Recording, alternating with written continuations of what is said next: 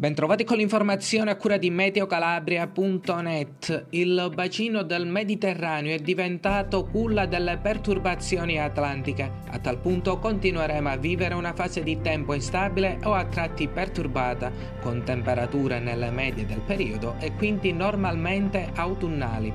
Uno sguardo rapido alle mappe di previsione per il weekend. Sabato 9, nuvoloso o molto nuvoloso su tutta la regione, con associate piogge e rovesci che nel corso della giornata potrebbero bagnare tutto il territorio regionale.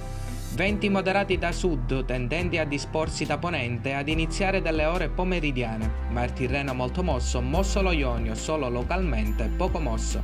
Temperature in ulteriore calo dalla sera.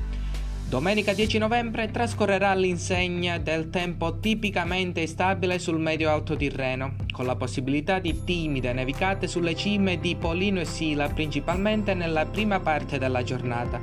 Dovrebbe migliorare temporaneamente dalla sera. Temperature in ulteriore lieve calo e venti tesi dai quadranti occidentali.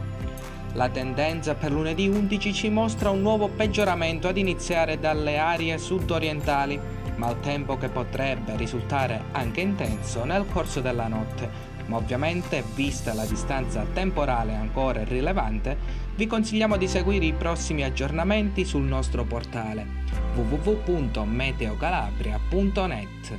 Grazie per l'attenzione e buon weekend!